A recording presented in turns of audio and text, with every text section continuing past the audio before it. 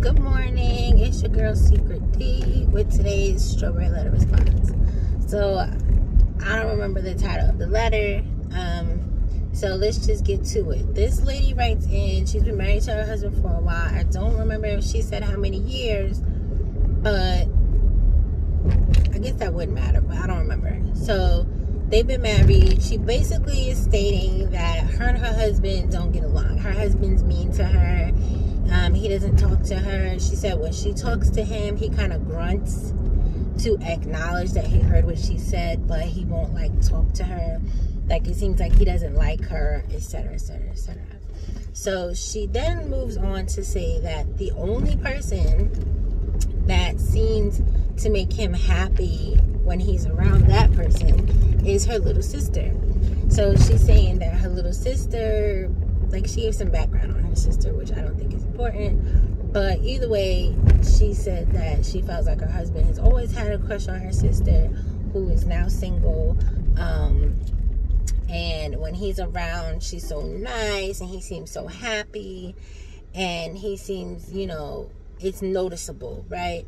So she said that her and her mother noticed it, but they think it's funny. Um,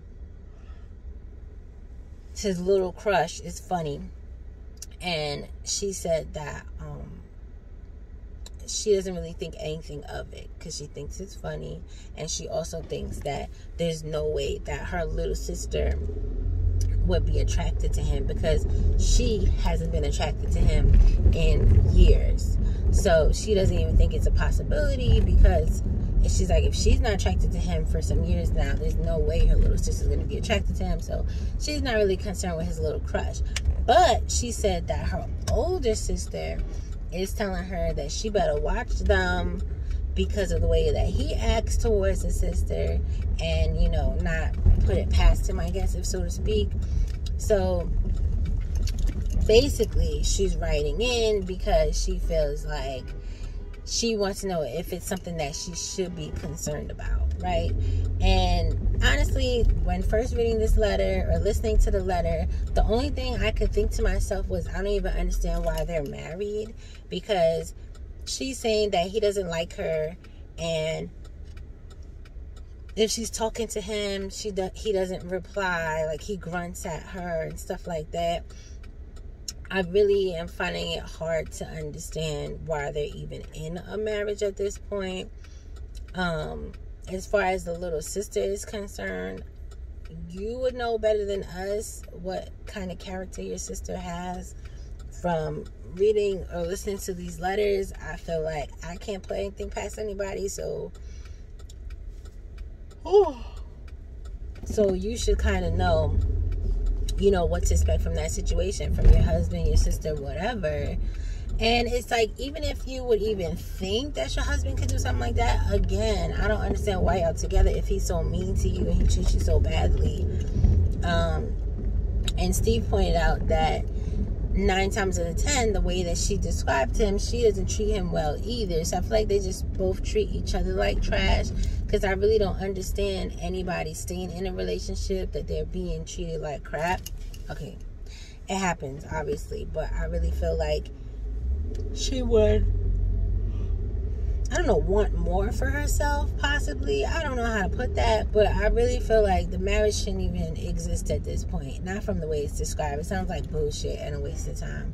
And it really sounds like you're married just to say that you're married because it doesn't seem like like a loving relationship or partnership or anything.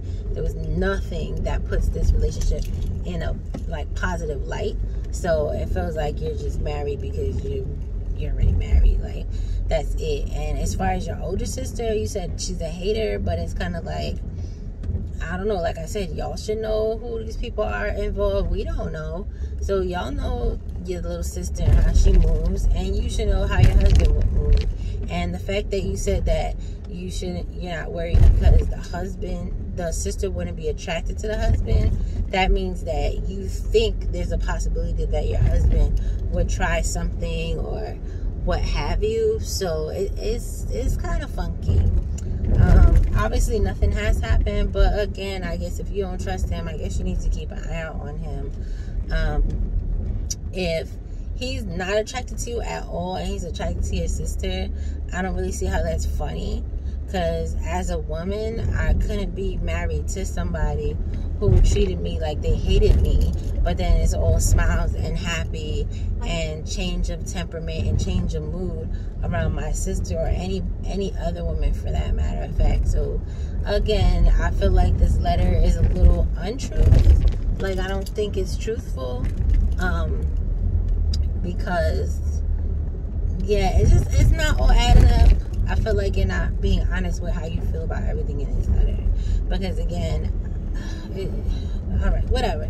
Y'all let me know because I feel like I'm rambling at this point, and y'all can let me know what y'all think about it. Bye.